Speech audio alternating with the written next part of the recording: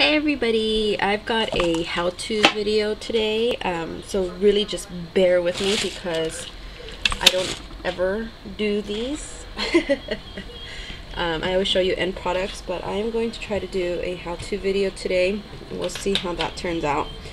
Um, I actually discovered this on Pinterest, so unfortunately, yes, I am one of those people who is now completely and utterly addicted to Pinterest. But um, there were these beautiful um, ribbon flowers. And um, this was one of the very this is the very first one I made. And then I've slowly been practicing it a little better. Um, so I did want to show you kind of what I have learned. If I'm sneezing or anything I'm so sorry. It is like 80 degrees here in California and my allergies are like driving me crazy. My nose is like super just itchy. All I've been doing all day is sneezing and scratching my nose. So um, but I do want to show you how I made these flowers. So um, I'm going to continue make another gold because I did run out of the red ribbon. And you can use, I'm using sheer ribbon, but honestly you can use um, any kind of ribbon that you think that you want to use. So, um, but you do want thick ribbon, at least um, quarter, uh, one and a quarter inches. So, um, and you're going to need, if you do do the thick ribbon, you're going to need about 24 inches, 2 feet, and you do want it to be wired so it does have to be a wire edged ribbon. So um, just when I start off I have my Tim Holtz scissors here. And just pick a side any side um, it doesn't matter and you're going to freehand scallops onto it. Now one thing I learned as you can see these are um, very large scallops and because I made the scallops so large they happen to curl along them. So I did have to cut slits into my scallops to open up the flower a little bit. But if you do smaller scallops like I did here you don't have to do that. So um, just kind of keep that in mind. If you do want the larger then of course you can. You just have to cut slits into the scallops once you adhere it. But if you don't then you get something more like this where you don't have to do the slits. So um, I'm just going to freehand and this is two inch wide ribbon. So I'm going to try to cut it down to a quarter inch. It doesn't have to be perfect. Um, that's fine. You know even your scallops are fine. You can save the scraps after. Um, I was trying to think what I can use my scraps for. So I haven't really been saving them but that's okay.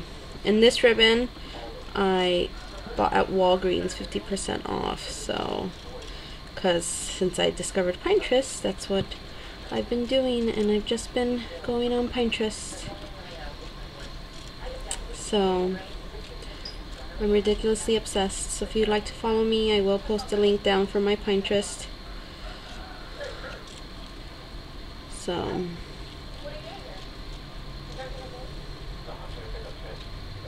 Okay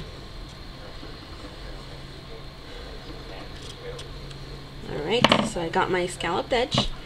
So what I do is I pick an end and I pull it and I just bend the wire. So I just bend it like that. Okay, and that just kind of saves your spot. And then on the other end, you just kind of start pushing. And you just want to hold it and then you want to pull down and just push down the ribbon on the wire. This is why you need a wire edged ribbon.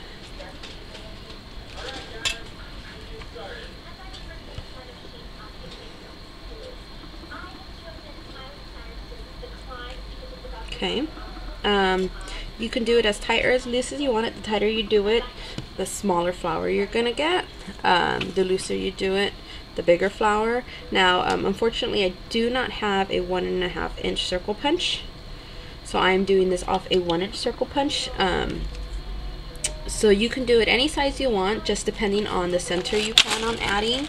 Um, you have to remember that. So if you see something like this, I can probably do um, one and a half inch circle punch because it will cover that center because you see I add a, a circle in the back.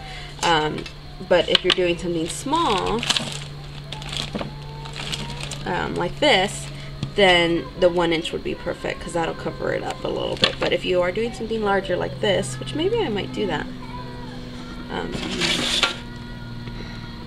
no, I don't have a one inch, one and a half inch circle punch, so I'm just gonna do the one inch. So um, don't cut off the excess wire, and you're just gonna start kind of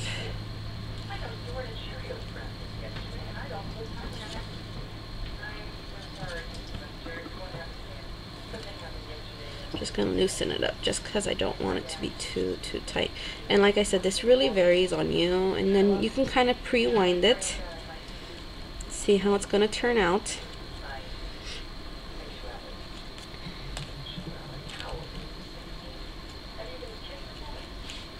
okay and you're gonna start with the glue gun now um, on Pinterest this is where I got this from this is off somebody's blog I don't know exactly how she attached it, but this is how I kind of figured out how to attach it. So let's see if I can do this on camera because last night it was hit and miss basically. So you know how that goes. So I'm to start by putting a little bit of hot glue. And if you do have something to protect your fingers, please use it. I do not. But like I cook, if I don't burn myself, I'm not doing a good job. That's what I always say, which is really funny. So I'm just starting to coil it around. And um, you just kind of go and you adhere it as much as you can. So um, doesn't have to be perfect. If you want to go more along the edge, that's fine as well.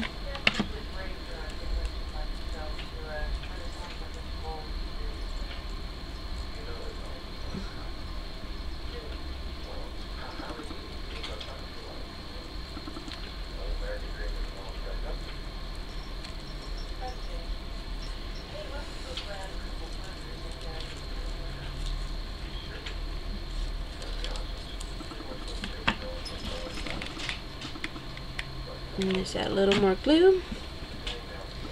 You I've never done this, so I will be burning myself.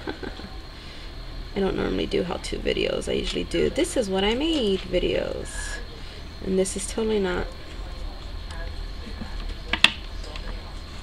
I think I should have done my um, scallops a little deeper. So I'm probably going to have to cut the edges or cut slits in, but that's alright. It'd still be a unique flower. And I just add a little bit and keep winding. A little bit.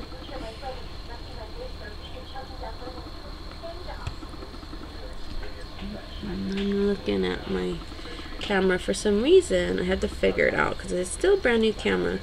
Um, how I can do longer videos because for some reason it only allows me to do 10 minute videos. So just kind of keep adding the hot glue, just going over the top. Ooh, ah, see, I just touched a really hot glue there. But that's okay, like I said. So this is going to be actually a very tight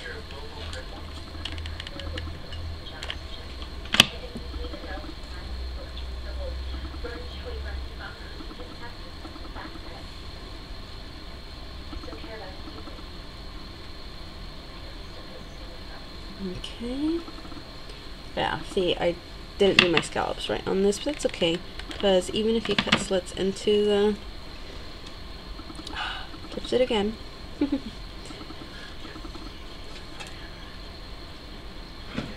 okay.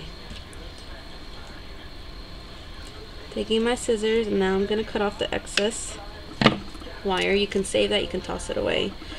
And then, because I didn't, I did it too tight, or um, I didn't do my scallops right. This is what I mean. See, um, it's all curled up like this, and all I do is cut into where I put the scallops to open it up.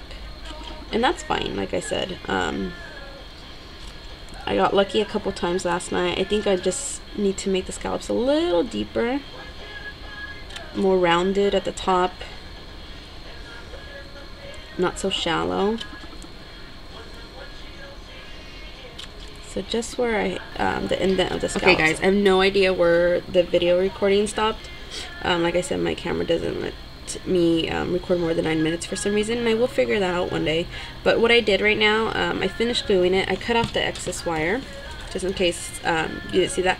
And I made it a little tight, So because I made it a little tight, I'm cutting slits into my scallops to open up the flower a little bit more.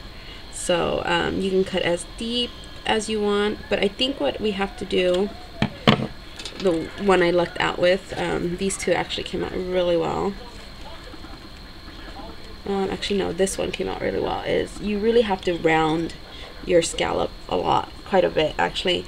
And um, I think too because I made this one. I cut 12 inch strips. So I did two 12 inch strips and then separately glued them. So I did one 12 inch strip and then I did the other 12 inch strip. So you can try that as well. But uh, I mean this looks gorgeous just as well and then I love the the gold edging on that. So um, see this is why I don't do how-to videos because I don't do it perfect but that's okay because um, when I add that button to the center or even this one. Oh look, that works too, but um, I think I'm gonna do the pearl. But I didn't make the center tight enough, so my button's gonna go right in the middle, but because I do have that gold edging on the wired ribbon, it's gonna look fine. I'm not even gonna worry about it. So what I do is I add a little hot glue to the center of the button. I don't cut off the back of the button and then I'm going to add a little hot glue right inside to help the sides stick.